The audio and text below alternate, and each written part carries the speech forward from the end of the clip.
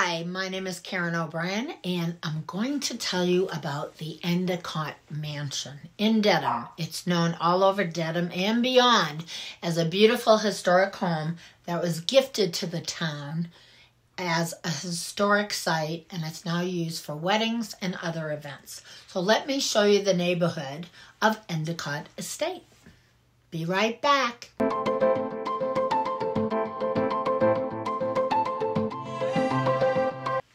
Heading southeast from Dedham Square, you would turn right on East Street and you'll find the oldest house still intact in the northeast. It's called Fairbanks House, where eight generations lived since the incorporation of Dedham in 1636.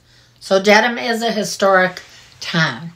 Uh, the town opens Fairbanks House to tours from May to October yearly. Keep going down East Street a bit and you will see the majestic Endicott Estate on your left. It's 15 acres. I still can't wrap my head around that. It's like a massive block. The Endicott Mansion is known all over Dedham and beyond as the beautiful historic home that was gifted to the town. It's now used for meetings, uh, weddings, other events, and it's used on a regular basis. This huge block amounting to 15 acres of well kept greenery, gardens, a gazebo, and the mansion itself are bordered by lovely homes in this neighborhood of Dedham. Expect to pay from 650 to well over a million dollars to live in this neighborhood. People in the neighborhood can join the community gardens and grow flowers and vegetables and participate in summer concerts by the gazebo. It's a peaceful July day here, and what a great way to spend a half hour walking and getting some exercise walking through your neighbor's grounds. The block is about 0.6 miles around.